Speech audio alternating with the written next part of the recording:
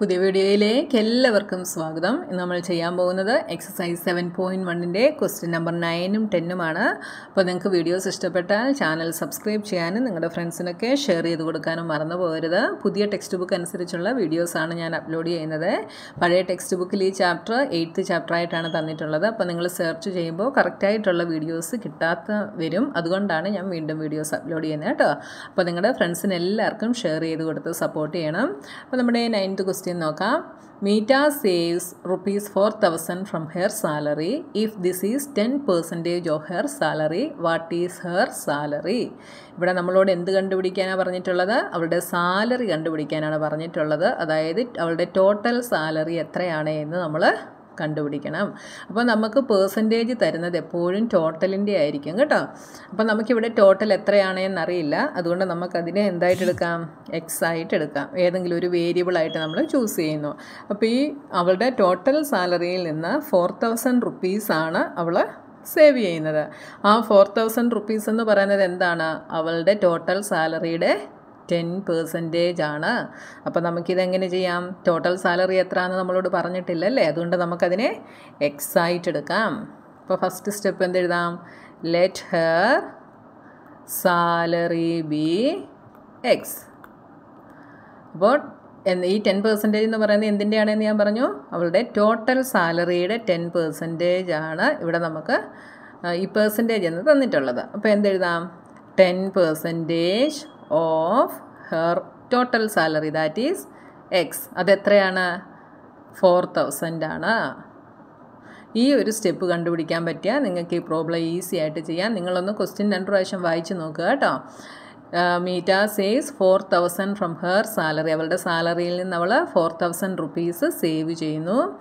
അതെത്രയാണ്? അവളുടെ സാലറിയുടെ ten percentage ആണ്. പക്ഷേ സാലറി എത്ര ആണെന്ന് നമുക്ക് അറിയില്ല. അപ്പോൾ ten percentage of her salary that is x. അപ്പോൾ ടെൻ പെർസെന്റേജ് ഓഫ് എക്സ് ആണ് എന്ത്? ഫോർ തൗസൻഡ് എന്ന് പറയുന്നത്. അപ്പോൾ ഇതെങ്ങനെ എഴുതാം? Ten percentage is ten by hundred into x is equal to four thousand. ഇതിൽ നിന്ന് എക്സ് എന്ത് വരും? X is equal to four thousand ഇതിനെ നമ്മൾ ഇങ്ങോട്ട് ട്രാൻസ്പോസ് ചെയ്യുന്നു.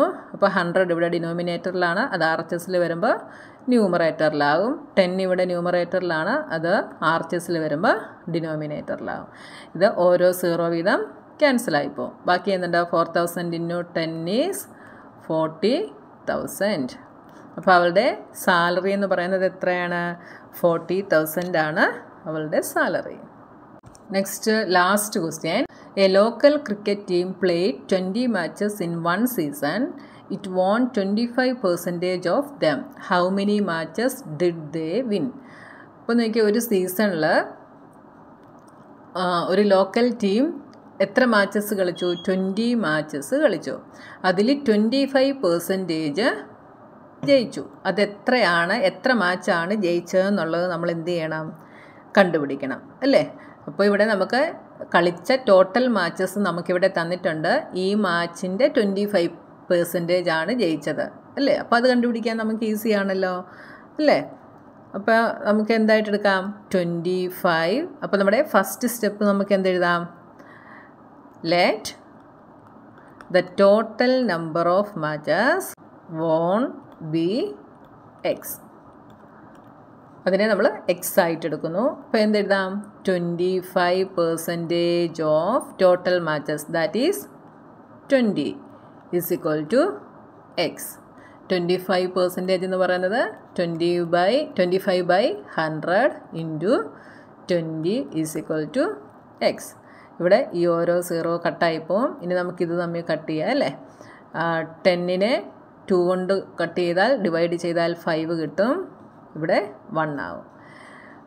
ഇനി നമുക്ക് ഫൈവും ട്വന്റി ഫൈവും കൂടെ കട്ട് ചെയ്യാം. Five fives are twenty five ഇവിടെ വൺ ആവും. ഫൈവ് ബൈ വൺ അപ്പോൾ x is equal to five by one is five അപ്പോൾ എക്സ് നമുക്ക് ഫൈവ് എന്ന് കിട്ടി. അതിന്റെ അർത്ഥം എന്താണ്? Hence they won five matches അവർ അഞ്ച് മാച്ചസ് ആണ് ജയിച്ചത്. ഓക്കെ അപ്പോൾ നമുക്കിവിടെ ടോട്ടൽ മാച്ചസ് തന്നിട്ടുണ്ട്. ട്വന്റി ഫൈവ് പെർസെന്റേജ് എന്ന് പറഞ്ഞിട്ടുണ്ട്. അപ്പോൾ ഈ ട്വന്റി ഫൈവ് പെർസെന്റേജ് എപ്പോഴും ടോട്ടൽ പേഴ്സന്റേജ് തരുന്നത് എപ്പോഴും ടോട്ടലിന്റെ ആയിരിക്കും. അപ്പോൾ ഈ twenty five percentage of twenty matches is equal to x എന്ന് നമുക്ക് എടുക്കാം. ഓക്കെ ഈ ഒരു സ്റ്റേറ്റ്മെന്റ് കണ്ടുപിടിച്ചാൽ നിങ്ങൾക്ക് ഈസി ആയിട്ട് ചെയ്യാനായിട്ട് പറ്റും കേട്ടോ. അപ്പോൾ നിങ്ങൾ രണ്ട് പ്രാവശ്യം ക്വസ്റ്റ്യൻ ഒന്ന് ശ്രദ്ധിച്ച് വായിച്ച് നോക്കുക. അപ്പോൾ നിങ്ങൾക്ക് ഈസി ആയിട്ട് ചെയ്യാനായിട്ട് സാധിക്കും. അപ്പോൾ നിങ്ങൾക്ക് വീഡിയോസ് ഇഷ്ടപ്പെട്ടാൽ ചാനൽ സബ്സ്ക്രൈബ് ചെയ്യാനും നിങ്ങളുടെ ഫ്രണ്ട്സിന് എല്ലാവർക്കും ഷെയർ ചെയ്ത് കൊടുത്ത് സപ്പോർട്ട് ചെയ്യണം കേട്ടോ. അപ്പോൾ ഇനി നമുക്ക് അടുത്ത എക്സസൈസുമായി നമുക്ക് നെക്സ്റ്റ് വീഡിയോയിൽ കാണാം.